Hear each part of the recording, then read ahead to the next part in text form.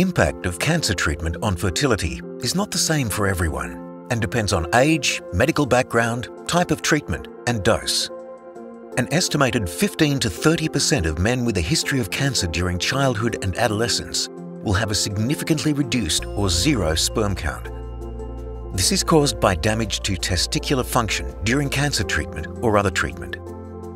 Because of this risk on future sperm production, it is recommended that fertility preservation discussions occur before the start of treatment so the implications for future fertility can be understood.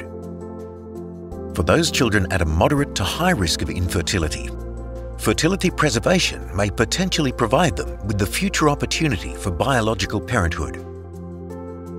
If they are already producing sperm, from puberty usually around 11 to 12 years old, and able to collect a sample, the sperm can be frozen for future use.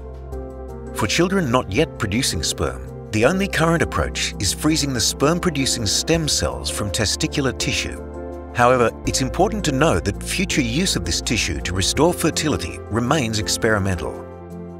Recent scientific advancements have been encouraging and a live birth from testicular tissue may be a reality in the future. Removing sperm-producing stem cells for freezing requires a testicular biopsy where either part or the whole testicle is removed. The amount removed is dependent on the clinical situation and the child's age. The biopsy is performed under anaesthetic and takes around 20 minutes. It is performed at the same time as other medically necessary procedures to not delay the start of cancer treatment. Like other surgical procedures, risks of the biopsy include infection and bleeding, but the chance of this is very low.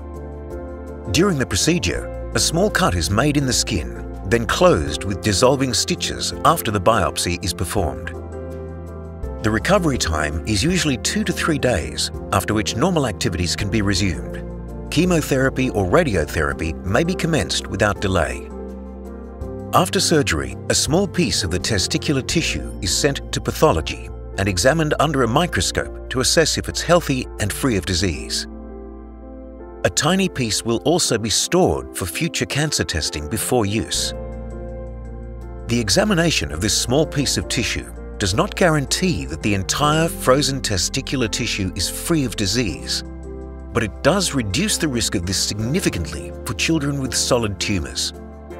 With ongoing advances in fertility treatments, the hope is that in the future, the testicular tissue will be grafted back onto the body to assist the development of mature sperm cells.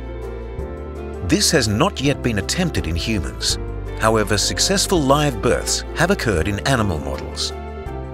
For further general information about this topic, see the links in the description box. For information specific to your situation, please contact your trusted GP or healthcare provider or call Cancer Council on 13 11 20 to speak with a cancer nurse.